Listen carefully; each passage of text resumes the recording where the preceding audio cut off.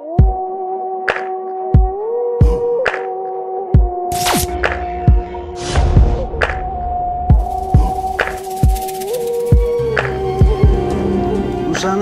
peşinden giden Firavun Kızıldeniz'de boğuldu.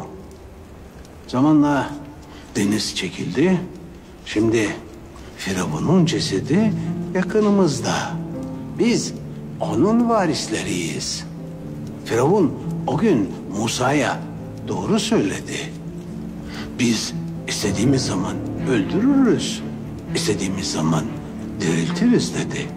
Adamın birine okunu çekip fırlattı. Diğerine ise seni bağışlıyorum diyerek yaşattığını söyledi. İşte o gün Firavun'un okuyla yaptığını biz elindeki bu yeşil kağıtla yapacağız. Artık gelişmiş makineler var. Bu 100 dolardan 20 tanesini bir dakikada basıyorlar. Yalnızca bir dakikada. Biraz yeşil mürekkep ve bir miktar kağıt. Maliyeti sadece kağıt ve mürekkep. İşte size dünyanın en büyük gücü. Para. Dünyayı 300'ler meclisi idare eder. Eskiden biz idare ediyorduk. 622'den 1683'e kadar 1150 sene Asr-ı Saadet, Hülefai Raşidin, Emeviler, Osmanlılar, Abbasiler, Emeviler, Abbasiler, Selçuklar, Osmanlılar, ikinci Viyana kuşatmasına kadar biz dünyanın aynı zamanda maddi en büyük gücüydük. Dolayısıyla dünyada hakkı adaleti koruyordu. Bir saadet dünyası kurmuş ecdadımız onu muhafaza ediyordu. Bütün insanların duasını alıyordu. 1683'te Viyana muhasası hedefine ulaşamayınca maddi yük Siyonizmin eline geçti.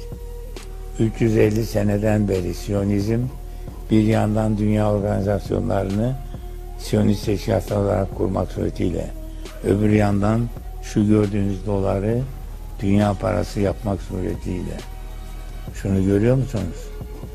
Bak bu gördüğünüz doların burasında Amerika Birleşik Devletleri yazdığına bakmayın siz. Asıl arkasında bir mühür var. Bu mühür Siyonizmin mühürdür. Bu Siyonizmin parasıdır. Amerikan Merkez Bankası dediğiniz 7 tane Siyonist bankanın merageti Birleşik Bankadır ve Siyonistlerindir. Amerikan içinde 5 milyar, 5 trilyon dolar var. Dışında da 5 trilyon dolar var. Bu Siyonizmin parasıdır. Amerikan Merkez Bankası yani FED bunu kiralıyor. Siyonizme para vermek. Kendisinin parası yok. Siyonizmin parasını kirayla kullanıyor. Bu kullanmış olduğu parayla getiriyor. Petrol şeyhine veriyor. Elinden petrolü alıyor. Bize getiriyor. Pamuğumuzu, madenimizi alıyor.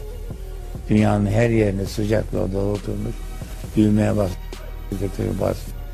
15 dakikada bastığı parayla bizim bir senelik tarladaki çalışmamızın karşılığını değiştiriyor ve bizi sömürüyor. 5 trilyon Amerikan içinde 5 trilyon dışında 10 trilyon yeşil kağıtla sömürüyor. Bundan kalmıyor. Şimdi bu yeşil kağıdı petrol şeyine verdikten sonra şeye tekrar geliyor. Şey efendi diyor sana ben yeşil bir kağıt verdim. Dolar onu bana geri vereceksin. Niye? Sana bu sefer Amerikan dolarına indeksi tahvil vereceğim. Sarı bir kağıt vereceğim. Yüzde beş faiz alacaksın. Yeşil kağıtları topluyor. Bir daha kullanıyor. 5 trilyon Amerikan içinde 5 trilyon da Amerika'nın dışında tahvil var. Şimdi 10 trilyon bu yeşil kağıt. 10 trilyon da sarı kağıt yaptı 20 trilyon. O kağıtları bir daha kullanıyor. Onlar Merkez Bankası'nda toplanıyor. Merkez Bankası'na geliyor. Senin şu karşındaki 5 trilyonu bana ver diyor. Sana bir beyaz kağıt vereceğim. Türkiye'nin 60 trilyon rezervi var. Sözde. Nerede bu 60 trilyon dolar? Bu 60 trilyon dolar Rockefeller'in kasasında. Rockefeller'in Brezilya'dan şeker alırken kasa dediği para. O kullanıyor. Bizim Merkez Bankası'nda ne var? başkanın masasının üzerinde sizin bizim Amerikan Express Bank'ta 2 milyar dolar rezerviniz vardır diye bir beyaz kağıt var. Buna biz üç kağıt oyunu diyoruz. Ne anlat ben şimdi? Burada nereden 28 Şubat anlamak için dünyanın yapısını bilmemiz lazım. Dünya yapısında 350 seneden beri Siyonizm dünyaya hakim olmuştur ve organizasyon kurmuştur. Birleşmiş Milletler Siyonist kuruluştur. IMF Siyonisttir, Dünya Bankası Siyonisttir. UNICEF Siyonisttir, Dünya Ticaret Teşkilatı Siyonist Teşkilattır. Bunların hepsi Siyonizmin kontrolündedir. Siyonizm için çalışırlar. Birçok ülkeleri sömürürler. Biz de bunlardan bir tanesiyiz.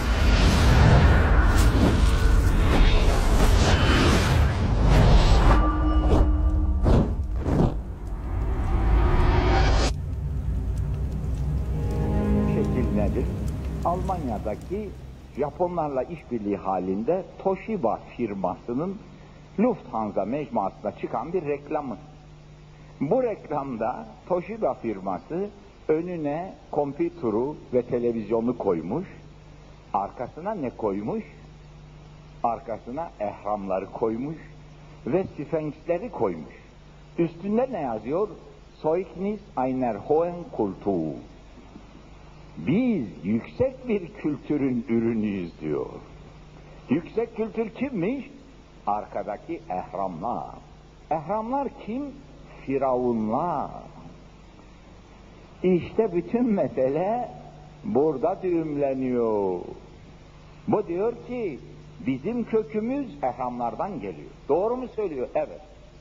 Çünkü bugünkü Batı medeniyeti bizzat kendilerinin itiraf ettikleri gibi biz bugünkü kültürümüzü eski Roma'dan, Yunan'dan ve Hristiyanlıktan aldık diyor. Eski Roma dedikleri nedir? Hepimizin bildiği tarihteki Roma.